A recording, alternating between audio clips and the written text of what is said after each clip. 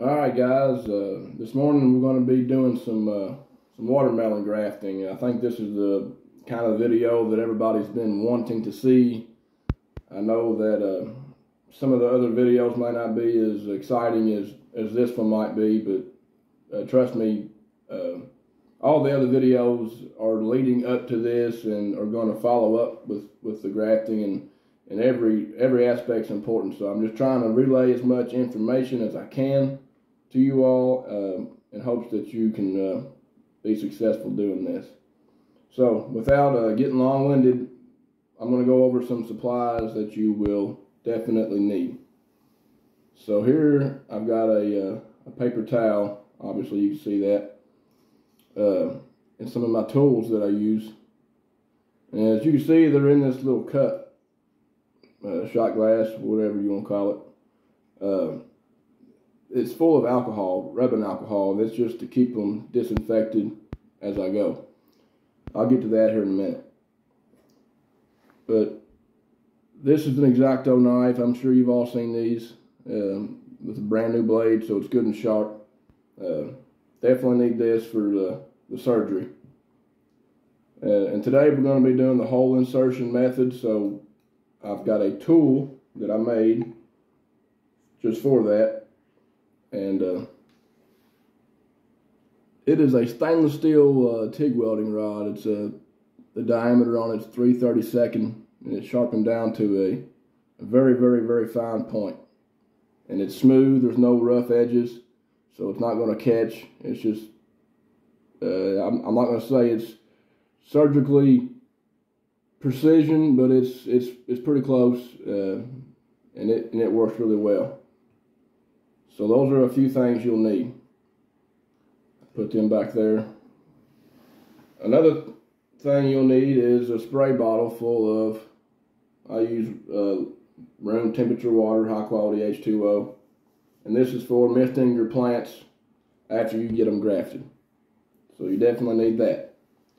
Also keep this jug of alcohol. And what I do with it is I'll disinfect my cleaning surface before I get started. And sometimes I'll even clean it while I'm grafting. After I do a few, I might come in and, and uh, get it cleaned up a little bit better. So I just want to clean where I'm going to be cutting and, and handling all these seedlings. I know uh, this could be uh, a touch on the overkill side, but it's better to be safe than sorry. So, whatever. Everything we do is overkill. So, so what I've got here is I've got my bushel gourd. Okay, this is about the right size for grafting for me. This is the size I like. And if you can look at the stem, the stem size is is about like I want it to. I've got three of them sitting here. I'm going to do three for you.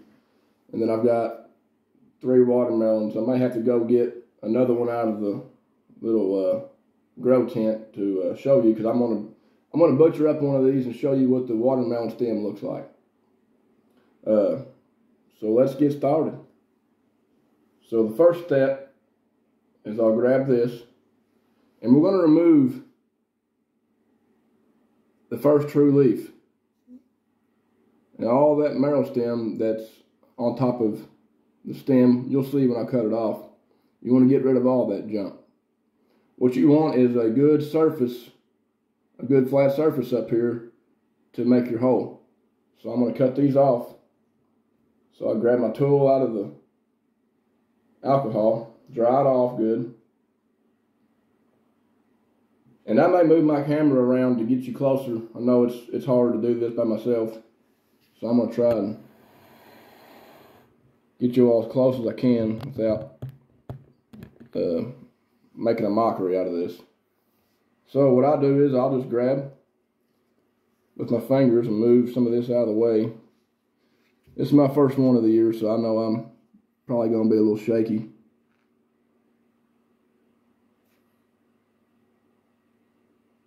And just we're just going, we're just being careful. And look at there, we got it off there.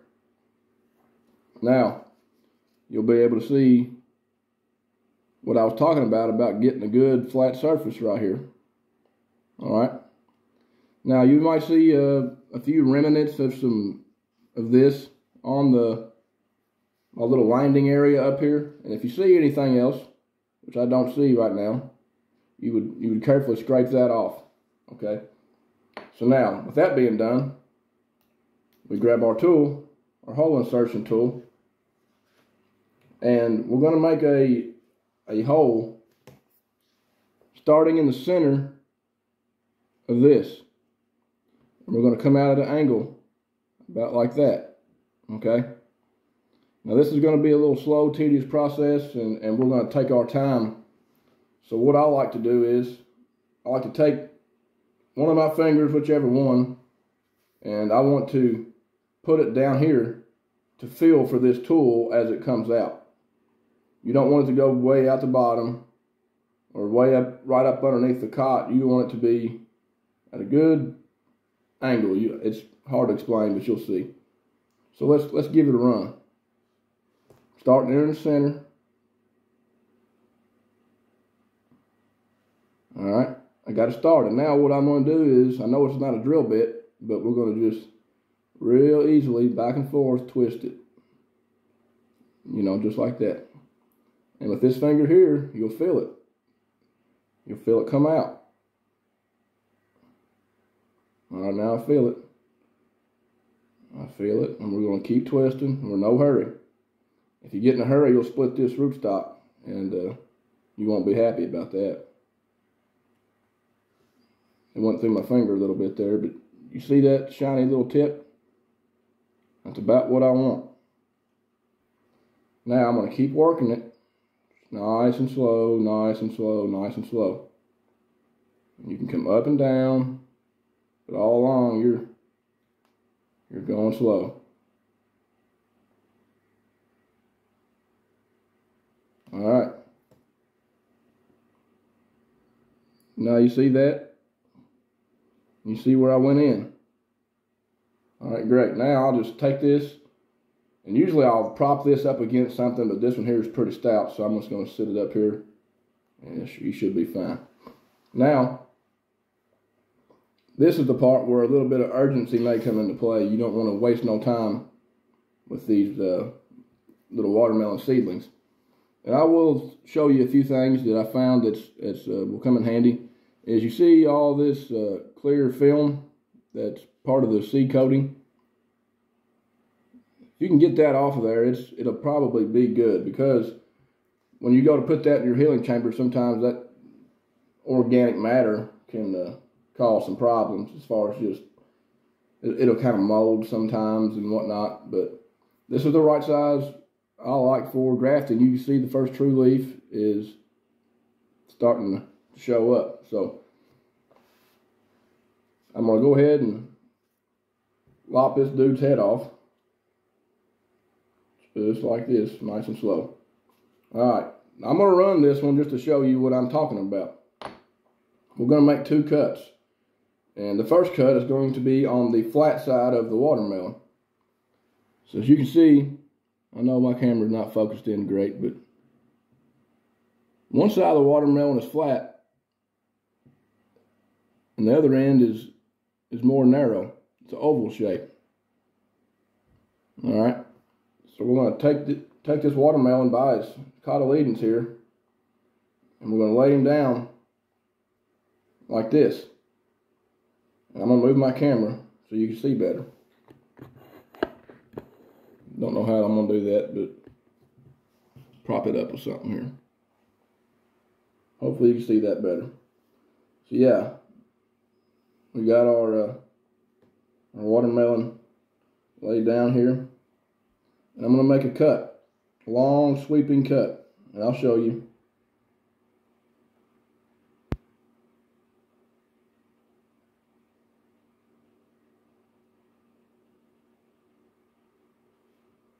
on the flat side first. So now you can see where it's shiny here. I've exposed the raw flesh. I just went down at a, at a sharp angle, just like that. Now, the first cut was made laying down that way. Now I want to turn it up 90 degrees and make a cut the other direction. Okay? So starting at the same point, you're going to draw it out to a really, really fine point on the other end.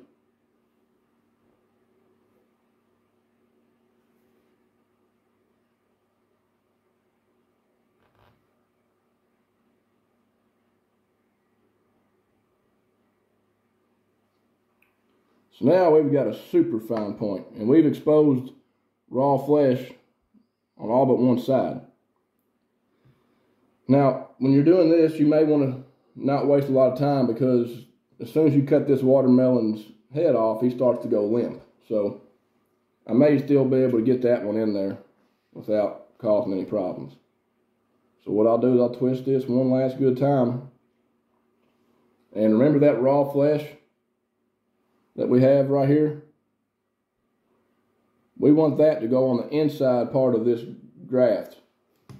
Just like that. To where this tail come out to this bottom hole that we just made.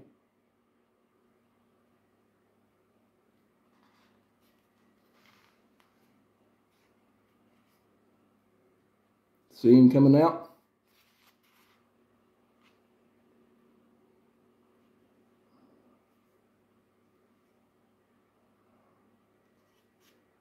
See that tail? Coming out. Now, I'm going to redo this one because I waited a little bit too long to get this. See how it's limp? It's because it's been too long since I cut his head off. But you see how it went in there nice and good. The tail sticking out.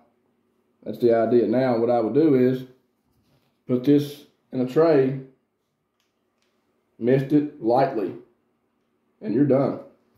You, you know, I see people using these grafting clips down here with the hole insertion method. You do not need them. If you personally, I, I, think if you find the need to use a grafting clip on the hole insertion method, you did something wrong.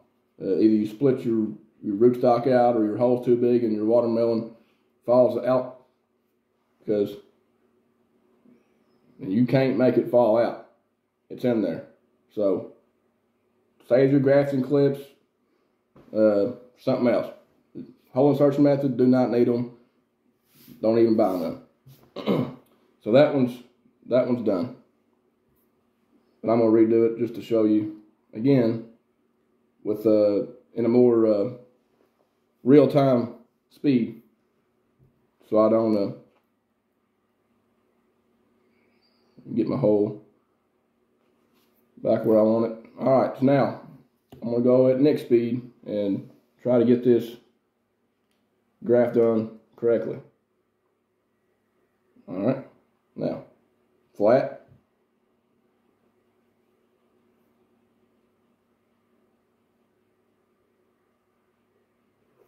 There's that.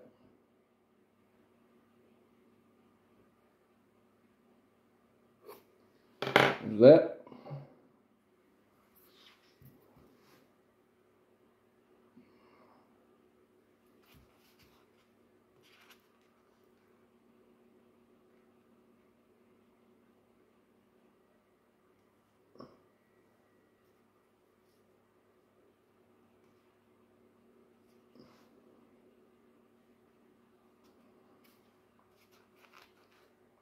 Just like that. Can't fall out. See the tail sticking out. That's a good graft. It's done.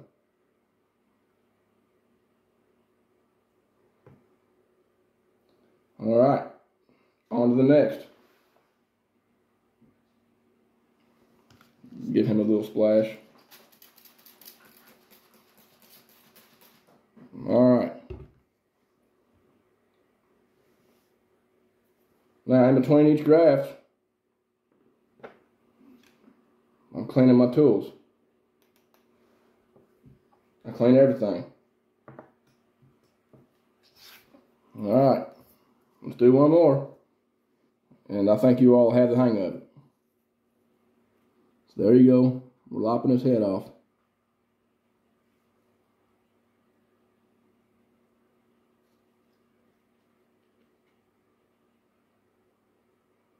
This is the part where you want to take your time.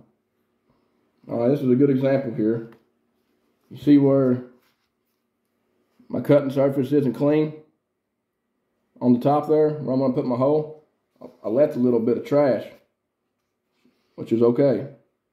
So I'm going to take it and just lop the rest of it off.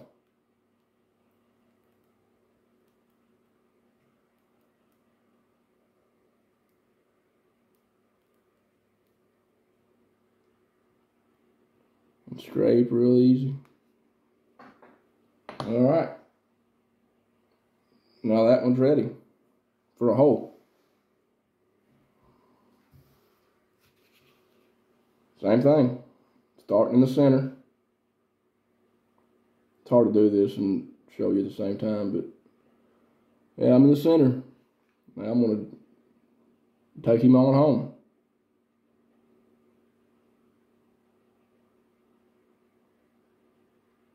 There's a lot of ways to do this, but this is the way that I do it, and I've had pretty good luck. So you uh, you may get to the point where you you get pretty good at grafting, and you may want to do it a little bit different. That's all. That's all good. That's all good. All right, got my homemade. Got my watermelon. Chop him up.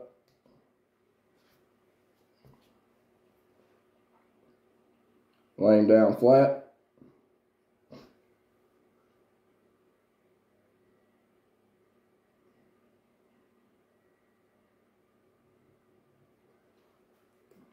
One cut.